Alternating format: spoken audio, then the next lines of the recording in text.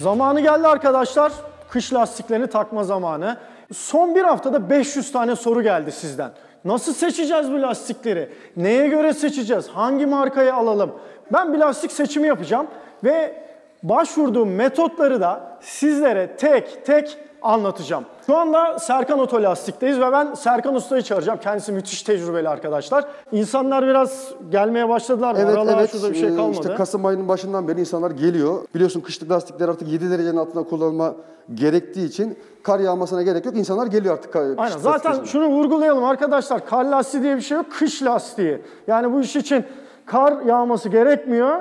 Şimdi bugün ben buraya bir tane polo getirdim. Bizim şirketin bir aracı ve bu aracın kış lastikleri eskimişti. O yüzden yenilerini takacağım. Şu an üzerinde yaz lastikleri mevcut. Aynen. Ve de ben bir karar verdim ama senin fikirlerini almak istiyorum. Sana gerçekten bu balans mevzusunda ondan sonra bir rot konusuna gireceğiz. Onların ayarlarını Aynen, yapacağız. aynen, aynen abicim. Lastik değiştirme konusundaki detaylar önemli. Ben Kesinlikle. onları sana sormak istiyorum tecrübeli bir usta olarak. Oraya geçelim hemen sonra devam edelim. Tamam abicim.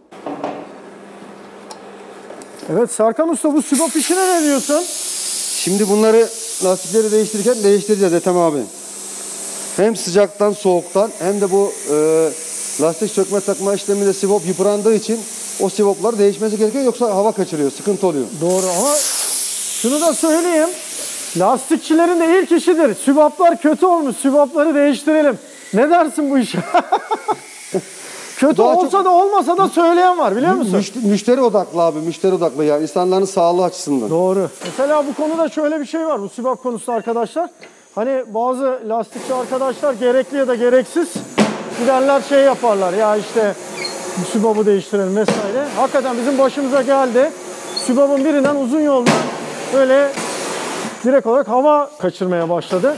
Ve yolda belki de 10 kez durduk lastiğe hava bastık. Takarken, sökerken sibop zarar görmesin diye, en az zarar görmesin ya da senserli siboplar zarar görmesin diye bu şekilde sibopun hemen yanından başlamak gerekiyor ki şuralarda sibop takılıp kırılmasın diye. Evet güzel bir bilgi.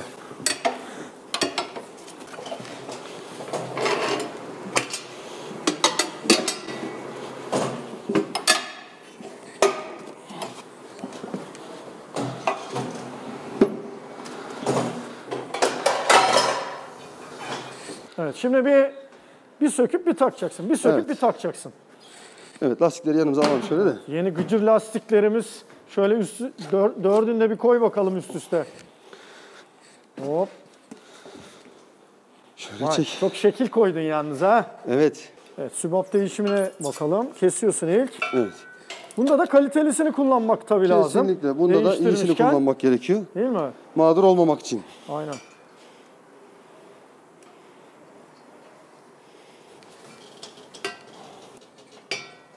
Şu sacın arasına arkadaşlar Tık diye oturuyor. bu giriyor. Bu sac bir can. İğneyi çıkartıyorum ki şişirirken lastik topukları ta- lastiğe tam otursun. Balansı daha düzgün olsun diye. Daha basınçlı şişsin, rahat otursun diye. Bunu da kaydırmak için yapıyorsun. Evet, montaj Rahat kremi. otursun diye. Evet, oks- oksitlenmeyi, paslanmayı aynı zamanda engelliyor. Kayganlığı sağlıyor.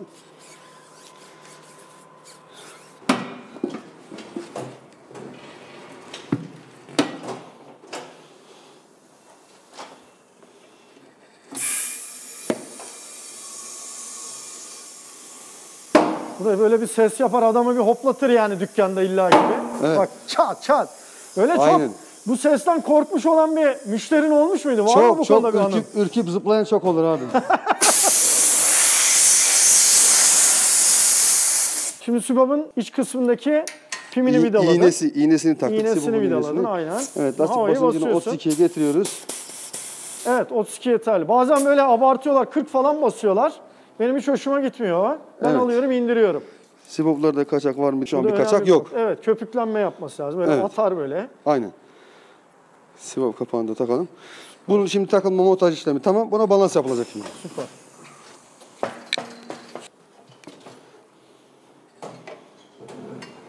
Nasıl eski lastiklerin durumu? Aracın Bu henüz fabrika çıkış fabrikasyon lastikleri. orijinal lastikleri. Zaten tarihi de çok eski. Yıpranmıştı. Kilometre de yapmış. Herhalde bir 50-60 bini var. Artık bunlar tozlu aracın hatırası olarak saklarız bunlar. Tozlu garajda karıştırdın işe yani helal. Onu takip ediyoruz. Sıkı takip ediyoruz. Tozlu garaj seviyor herkes. heves hevesi taktırıyorsun lastikleri. Hadi bakalım bir Yola geliyorsun ondan sonra yol gidiyorsun. 100'e çıkıyorsun 90, 100, 120 zangır zangır ötüyor. Aynen. Böyle titriyor daha doğrusu. Tabii lastik takıldığı zaman balansının sıfırdan yapılması gerekiyor. Yoksa hem e, sürüş konforu açısından arabada titreyerek gitmek var hem de lastiğin daha uzun ömürlü olması açısından, Tabii. yürüyen aksamı zarar görmesi, görmemesi açısından balans çok önemli. Olması gereken, yapılması gereken bir işlem. Biz bunu zaten yapıp Aynen. öyle teslim ediyoruz. Peki nerede hata yapıyorlar? Şimdi zaten göreceğiz senin yaptığın işlemi de ama esas hata nereden kaynaklanıyor? Çıktıktan sonra bozuk çıkıyor mesela. Şimdi şöyle, e, esas hata makine kalibrasyonuyla alakalı. Tabii, güzel Makinelerin zamanında kalibrasyonların yapılması gerekiyor. Kalibresiz bir makinenin yaptığı balans dolayısıyla bozuk çıkacaktır. Doğru. Tabii operatörün yapış şekli de çok önemli. Balans sadece kurşun çakmak demek değil. Lastiğin dönüşü, jantın eğikliği bunları kontrol edilmesi çok önemli. Doğru. Artı e, makinelerde artık balans programları var. Farklı jantlara göre, çelik janta göre, işte bu bizim demir jant dediğimiz jantlara göre farklı balans programları var. Ona uygun balans yapmak gerekiyor. Statik balans, dinamik balans bunları ayarlamak gerekiyor. Bizimki saç jant. Evet buna statik balans, dinamik balans yapıp geçeceğiz abicim. Dinamik balans. Evet. Hadi başla bakalım Tamam o zaman abicim. Bu arada böyle kötü bir anın var mı ya? Ben lastikçilerde bazen videolarda görürüz böyle. Adam lastiğin içine fazla hava basar, güm diye patlar, uçar falan böyle. Onun aynısını yaşadım abi birebir. Bir bizim o 126 bisler vardı eskiden çok küçük, Ha, evet. tekerlekli. Lastikte ciddi bir yara vardı. Ben müşteriye bunu takmıyorum bu sıkıntı olur dedim. Adam ısrarla bana o lastiği taktırdı. Şişirirken lastiğin gümleyip makineden fırlayıp karşı tarafa atladığını biliyorum yani. Ciddi mi söylüyorsun? Tabii tabii. Allah'a çok şükür kazasız belasız atlattık ama kötü bir tecrübeydi. Evet. Onu da yaşadık. etmek lazım yani. Aynen abi. İlk lastiği sıkıyorsun zaten. Evet. Şampuan, birlikte Buraya montajı yaptık. Eski, üzerindeki eski kurşunları söküyoruz. Yapıştırma kurşunlar, o çelik jantadaki kurşunlar geri dönüşüme gidiyor. Zaten artık onlar demir kullanılıyor. Ee, Şey, e, artık hurdaya gidiyor yani. Artık hurdaya gidiyor. Bu etiketleri de sökelim. Bunlar kullanıcıyı rahatsız ediyor. Evet. Bir de şöyle bir şey, o etiketler durursa sonuç olarak hem bir şekilde yola vesaire giderse çevre kirliliği yaratıyor. Bir de Hem de ses. lastiğin de özelliklerini etkileyebilir yani. Aynen. Öyle ya da böyle acil bir durumda. düşürebilir. Şimdi gerekli programı seçiyoruz abicim. Bu janta uygun programı seçiyoruz. Dinamik programda. Ölçülerini alıyoruz. Olmadı. Yani 15'e geldi. 15 inç evet. Aracın jantın 6 inç genişliği var. Ölçüyü aldık. Şu anda start yaptığımız anda hemen kapatalım kapağı. Bak kapağını da kapatıyorsun önemli bir şey. Evet parça Çünkü parça atmasın. fırlayabilir. Aynen. Bunu çoğu lastikçi yapmıyor. Ben görüyorum. Bu önemli bir şey arkadaşlar bakın bu. Kapattığınız zaman herhangi bir parça vesaire taş varsa onun fırlamasını engelleyen bir şey. Evet. Evet şimdi sana gösterdi. Evet iç tarafta hiçbir şekilde kurşun istemiyor. Dışa 20 gram ağırlık eksikliği olduğunu Evet, söylüyor. sen tam böyle döndürüyorsun onu. Evet onun olması gereken nokta bu programda saat 12 noktası 12 noktasına 20 gram kurşun ağırlık koyuyorum. Buldun tamam. diyor. Tam orayı bulunca da çakıyorsun. Tam Aynen. dik yere mi çakıyorsun? Evet saat 12 noktasına. Saat 12'ye buraya. Evet kurşunu buraya çakıyor. çaktık. Tekrar start yapıyoruz. Evet. Evet, balans okey. Evet bunun balansı Okey tamam. diyor. Tamam demek bu. Gördüğünüz gibi bu lastiğin balansı tamam arkadaşlar. Böyle yapılıyor. Jantta bir eğrilik yoktu değil mi? Gördüğümüz kadarıyla bağlılıkta yok. Genelde böyle illaki bir jant eğri bir yapalım edelim falan diye bir böyle bir şey yapılır. Ne diyorsun bu işe? O şöyle, şimdi bazı lastik ölçüleri biliyorsun. Yanak profilleri çok dar olduğu için çukurlarda lastik darbeyi yeterince ememediği için direkt jant darbe alıyor. Dolayısıyla eğiklik olabiliyor. Özellikle performans grubu düşük yanaklarda. Aynen. Bu 60-65 yanaklarda sorun olmaz abi. Dönüş yönlerine dikkat ederek rotasyona. Evet, o çok önemli bir nokta. Evet. Şöyle gösterelim arkadaşlar. Şimdi yönler her zaman öne doğru olması gerekiyor. Yani şu şekilde dönüş yönü bu. Eğer bunun tersini yaparsanız her gittiğinizde işte bu bahsettiğimiz su tahliyesi vesaire olayı çok ters biçimde gerçekleşir. O da sorun olur. Her zaman yönlü lastiklerde böyle. Bir de asimetrik lastikler var. Onlar da zaten montaj yönü direkt nasıl yapılacağı gösterilir ama bunlar da her zaman ok şeklinde önü gösterecek şöyle. Şimdi bunu biz bijonları zarar görmesin diye, dişleri kapmasın diye önce elimizde tutturacağız. Direkt tabancayla sıkmayacağız. Evet hafif bir de genellikle şöyle yapılır. Bize de öğretilen şeylerden en önemlisiydi. Hepsini ufak ufak sıkarsın, ufak ufak sıka sıka gidersin ki bir şekilde böyle bir yerden fazla sıkıp diğer tarafa kasmasın diye. Evet şimdi bunu tabancayla sıkarken de tabancanın en düşük seviyesinde sıkıyoruz. Biz bunları tabancayla boşluğunu aldıktan sonra bütün bijonları tork anahtarıyla tork kolla yeterli derecede sıkacağız zaten.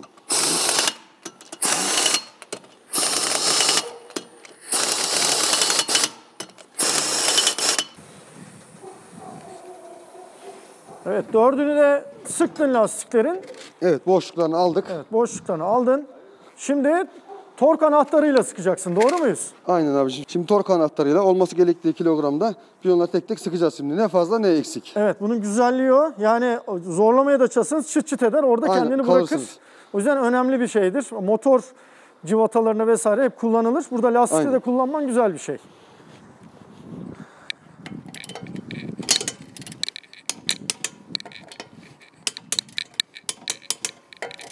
Evet o bıraktığı noktada artık gerek yok demek oluyor. Evet şu çift sesi Kendisi zaten bırakıyor. Sen yeterli istediğin diyor. kadar uygula. tekrar kontrol edelim.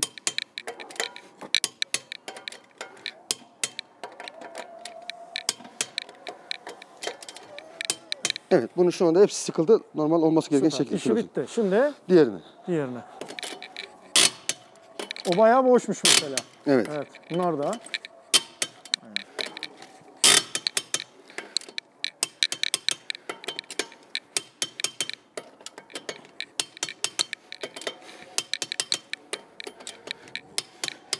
Rot ayarını Rot yapacağız. ayarlarına geçmek istiyorsun. Kışlık lastikleri takıldı. Ee, en son ne zaman rot ayarı yapıldığını bilmiyoruz tabi. Şimdi bir kontrollerini yapacağız. Ayarlarında bozukluk var ise rot ayarlarını da yapacağız. Çünkü hem sürüş emniyeti açısından çok önemli. Aracın Çok. yol tutuşuyla birebir alakalı. Hem de tabii güvenlik ve konfor anlamında çok önemli. Artı lastiklerin daha uzun ömürlü olması için Tabii. rot şart. Düzgün aşınma için önemli bir nokta. Bir de zaten periyodik olarak her 15 bin kilometrede bir lastiklerin ön arka yer değişmesi, rotasyon yapılması önemli. Lastiğin daha uzun ömürlü olması açısından. Dört lastiğe de Evet. takacaksın O bunları. çok önemli. O çok önemli abi. Sadece ön tekerleklere e, bu ayar makineleri bağlayarak sadece ön tekerleklere rotaya yapmak doğru değil. Şimdi asıl ayar kafalarını getiriyoruz.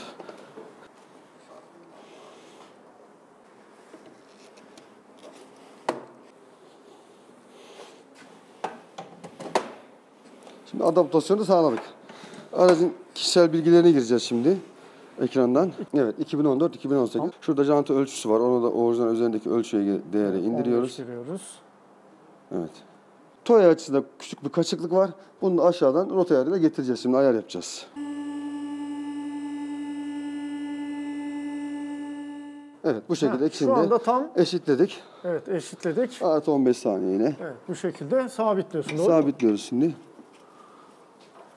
Her şey yeşil, her şey şahane. boşluklarını kontrol ediyoruz.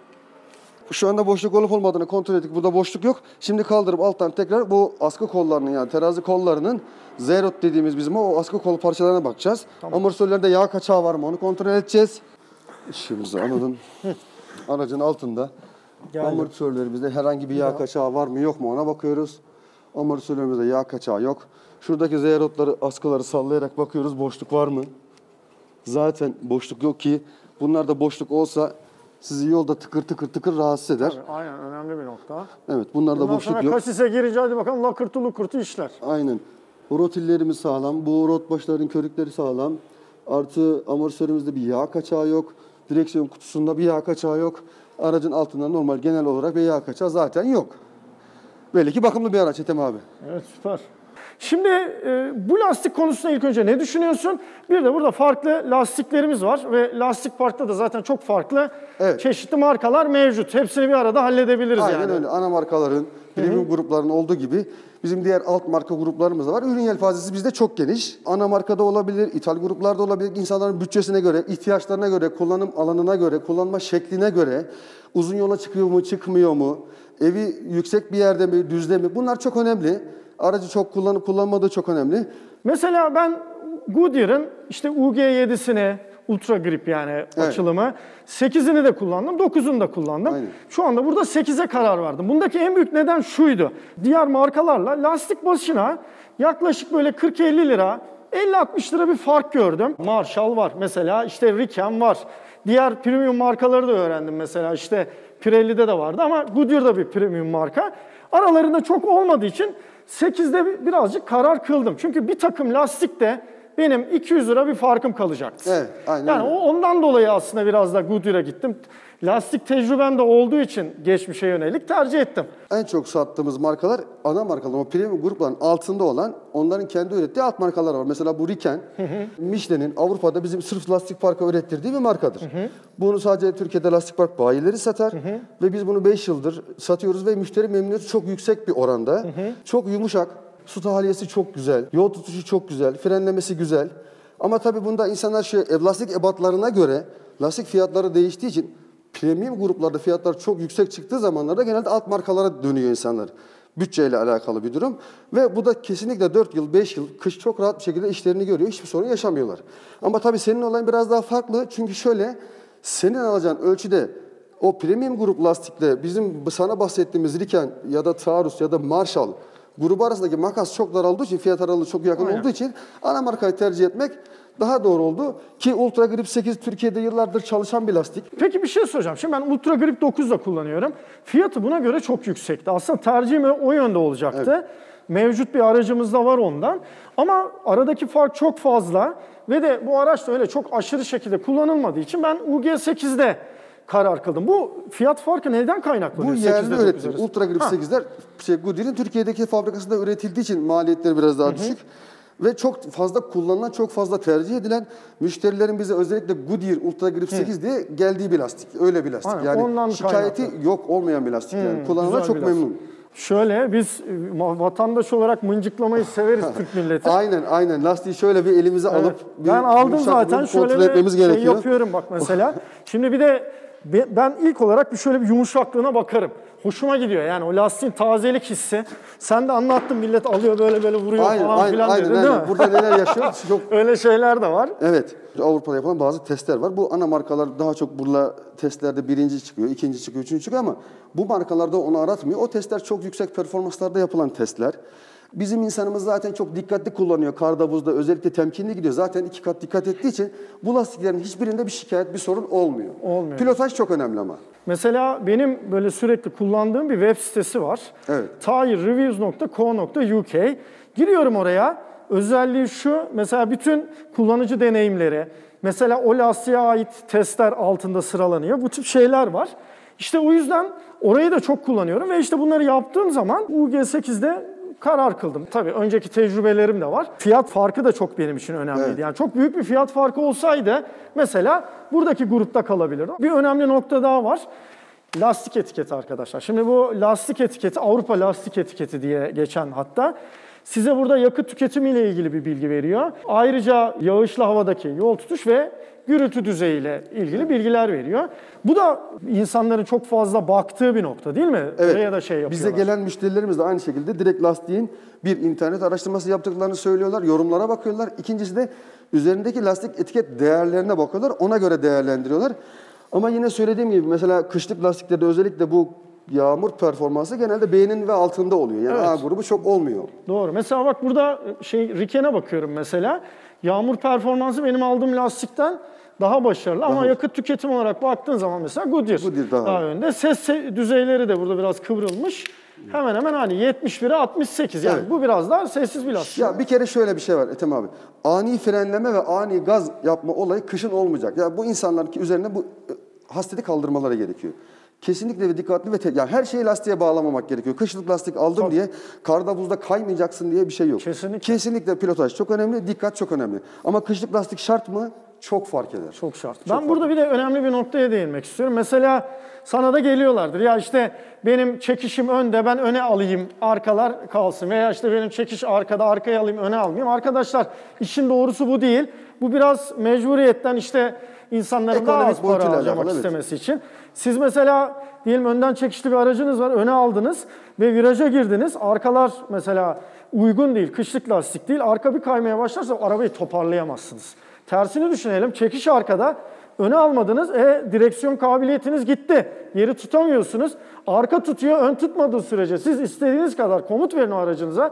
O araç böyle bildiği gibi dümdüz gider. Arkanın hiçbir fonksiyonu kalmaz. Yani düşünsene bir tarafa kösele giymişsin, bir tarafa böyle bir şey Yani. giymişsin. Onunla koşmayı bilmem neyi deniyorsun. İşte bunun gibi bir şey. Yani Aynen arabada öyle, da sonuçta öyle. dört tekerlekli bir taşıt. E, Ondan dolayı arkadaşlar 4 lastiğinde bu şekilde kışlık olması ve desenlerinin de mümkünse Birbirine aynı yakın, olması aynı. Tabii, tabii, çok önemli bir önemli. nokta. Peki Marshall'a ne diyorsun? Kumho'nun lastiği bu. Evet, bu da Marshall e, Kore'nin premium grup lastiklerinden. E, bizim çok sattığımız ürünlerden bir tanesi. Hatta ben kendi aracımda da kullandım bu lastiği. Mükemmel bir buz performansı var.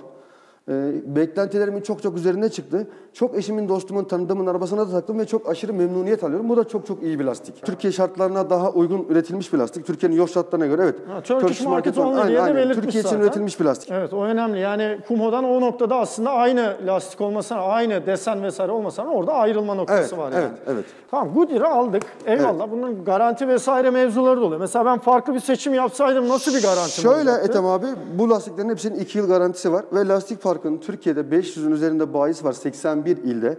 Türkiye'nin neresine gidersen git herhangi bir lastik park noktasına gittiğin anda lastiğin garanti kapsamında gerekli işlemler yapılır abicim. Hiçbir şekilde mağduriyet yaşamazsın. Lastik Park'ta benim dikkat ettiğim noktalardan bir tanesi. Nasıl mesela bir büyük bir markete gidiyorsun. Toplu alım yapıldığı için orada daha uygun fiyatlı şeyleri Aynen. bulabiliyorsun. Senin açından da bayide mutlaka bu avantajdır. Sonuçta şimdi Lastik Park bir mal çekerken diyelim böyle hani piyasa tabiriyle Evet. Uygun bir fiyatlı çekebiliyor. Çok atıyorum 10 bin tane lastik çekiyor, sipariş ediyor vesaire. E sana yansıması da o derece uygun fiyatlı oluyor. Müşterine verebiliyorsun tabii. Tabii sen. şöyle nasıl teknoloji marketlerine gittiğin zaman bir cep telefonu dahi alacak olsan bütün markaları her her şeyin aynı noktada bulduğun gibi lastiklerde de bütün ana markalar, lokomotif markalar ve alt markaları bizde bulabiliyorsun.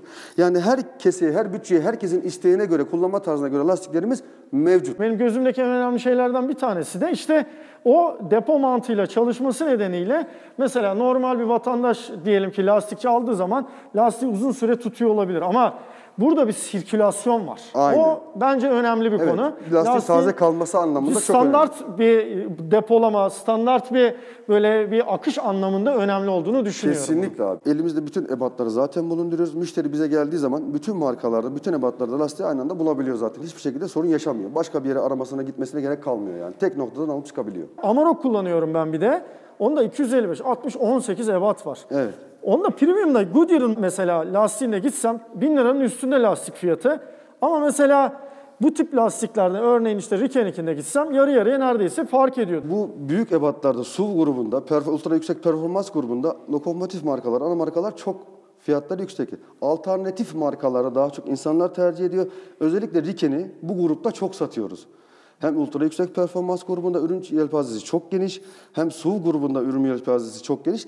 Dolayısıyla en çok tercih edilen oluyor o fiyat farkından ötürü. Doğru. Ki herkes kesesini düşünüyor bir yerde yani. E tabii duygusal bir Yani mevzu tamamen yani. duygusal abi senin.